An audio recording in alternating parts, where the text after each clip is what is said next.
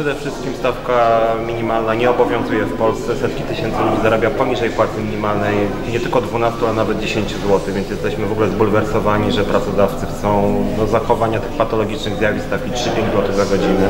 I tutaj naszym zdaniem trzeba przede wszystkim sprawić, żeby wszyscy pracownicy dostawali minimalną stawkę, już jakąkolwiek, bo obecnie to są 2-3 zł stawki.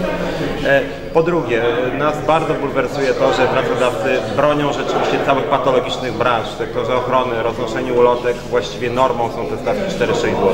Pracodawcy również, co nam się bardzo nie podoba i nas zdumiewa, są przeciwko ewidencjonowaniu czasu pracy, de facto są przeciwko kontrolom. Natomiast dane Państwowej Inspekcji Pracy pokazują, że e, co najmniej 20% umów zleceń to powinny być etaty.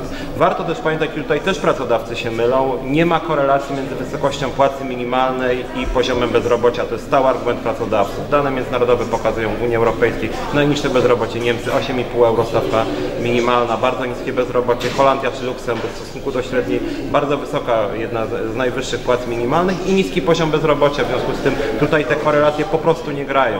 Więc naszym zdaniem warto wprowadzić co najmniej 12 zł stawki e, godzinowej e, po to, żeby poprawić sytuację pracowników, żeby zwiększyć popyt wewnętrzny i naszym zdaniem to nawet pozytywnie wpłynie na rynek pracy, bo wzrośnie popyt. Jedna jeszcze uwaga, to co my się tutaj bijemy z rządem i się nie zgadzamy, naszym zdaniem e, minimalna stawka w ramach umów cywilnoprawnych powinna być wyższa niż w ramach etatów, dlatego że dużą część tych kosztów, których w etatach ponoszą pracodawcy, w umowach cywilnoprawnych ponoszą pracownicy, więc sugerujemy na przykład 15 zł w ramach cywilnoprawnych.